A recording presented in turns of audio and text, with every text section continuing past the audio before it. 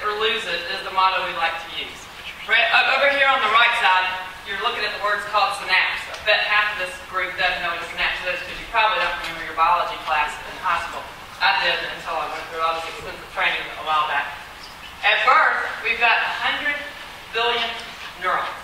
Now, scientists argue whether or not neurons can reproduce themselves, and the majority of them, 99.9%, say no. So what you're born with, you pretty much get.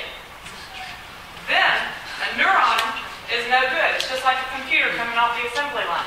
It doesn't have anything happening until we do something with it. We have a trillion synapses going on in these little babies' heads by the age of eight months. A trillion. That's a lot of stuff. That's 700 per second. So at three months, this is what their brain wiring looks like.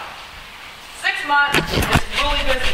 14 years, it's, it looks thinner, doesn't it? That's called pruning. We get rid of unused, insignificant neurons. Sensory pathways are the yellow line here. This is the big takeaway.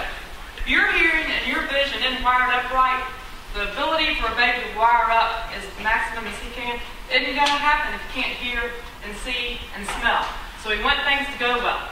The brain growth goes all the way to age 20, but 80% of it's done by age 3. That is critical to know because we think we learn everything in high school or grade school.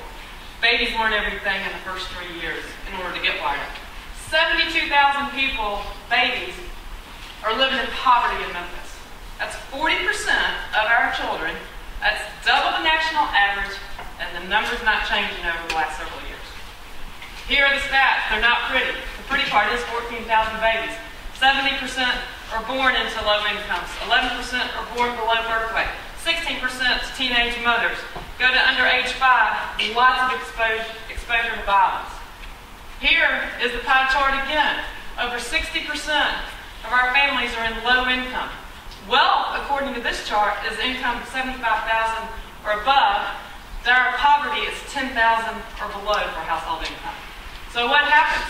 You start off life in a tough situation, and it isn't going to get better. It just gets worse. Your neurodevelopment gets disrupted, and bottom line, you get all the way to the top and you have an early death.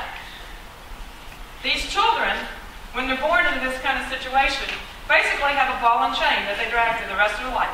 And two of the big items are the poverty that we just talked about and the violence we just talked about.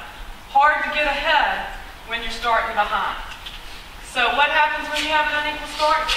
80% of the schools, um, more than one third, change each year. Kids are moving all over the city. I love the idea of the power school. Um, when you're behind, these kids are, are going to fast forward exponentially compared to the kids that are starting below.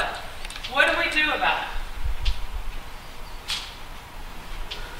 Think about it. I, I lost my words. Yo, I'm throwing my data out.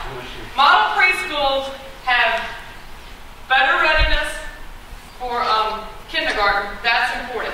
Everybody undercuts kindergarten. You've been hearing a lot about it in the news. It's important. You've got to have these zero to three. Because once you're behind, you don't all of a sudden advance one day because the fairy godmother put dust on you. you you've got to, you have to have the equal start. Investment, this is the big one. More return on the investment in zero to three than a high school.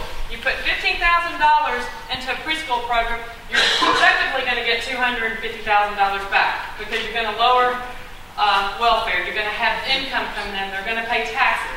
The community becomes a stronger place to be because you've got a zero to three child going on the right start. According to the Memphis Talent, talent Dividend, 1% growth in college attainment equals $1 billion to our economy.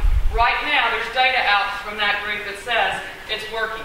But it won't work forever because we've got to work the bottom up too. So, philanthropists, help. If, you, if you're involved with policymakers, contact them. Professionals, volunteer. Lots of people need help getting the message out.